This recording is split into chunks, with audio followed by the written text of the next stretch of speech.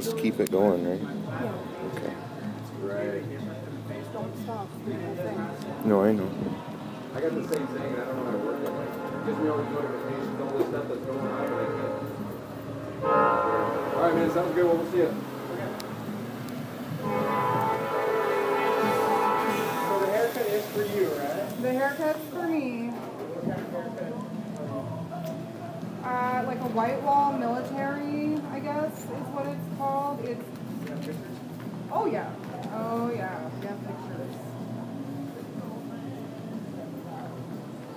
And don't worry about me. I've been growing my hair out long and shaving it off since like fourth grade. So. Okay. Well, now that I remember texting you, I thought it was for like. oh yeah. Um, something, and then I I know you're like, who's it for? and then you said your name, I'm like, oh, okay, well, I guess I could have just took it off. Well, I tried this once in Billings already, and the thing is, is I gave the guy the whole spiel. Like, as I made the appointment, I'm like, I'm being paid to do this. I'm traveling all the way from Miles City. This person wanted you specifically to do this for my hair. And we got up there, and he was closed. He's like, I'm feeling sick. I'll be in on Wednesday. It wasn't a bias, was it? Um, it was Rim's Barbershop. Oh, yeah, yeah, yeah. Yeah, in that casino. It took us forever to find it. What's that? You guys have been like four years. The old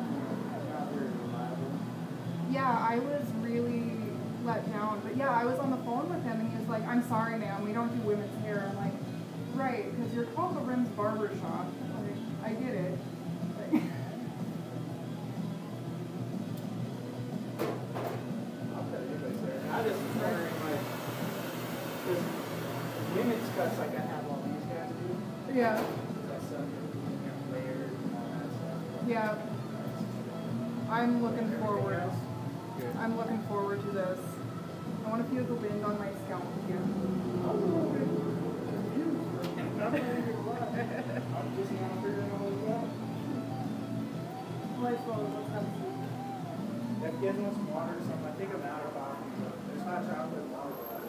All right. Oh, s- I should have to film you sitting here. Wait till like this. you know, like- Yeah, I I gotta.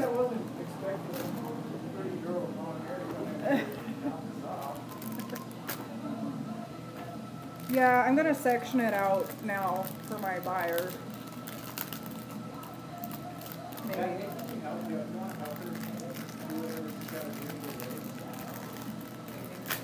I'm just sectioning it into multiple ponytails for my buyer. Awesome. Oh, cool.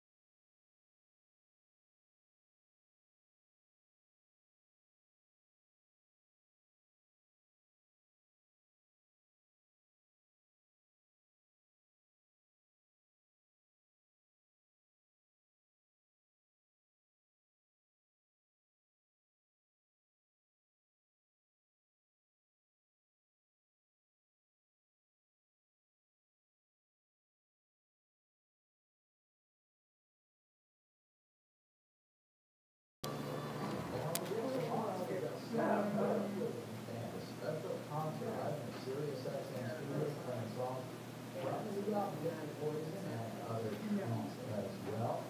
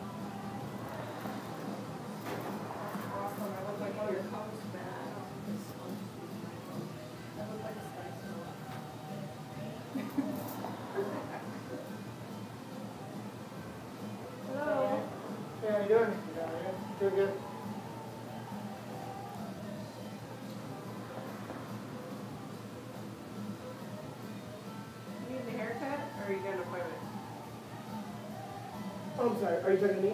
Yeah. Yeah, I got an appointment at two. Okay. Are you Nikki? Yeah. Okay. Is that me? Yeah. Okay. Nothing. Is that me? Good.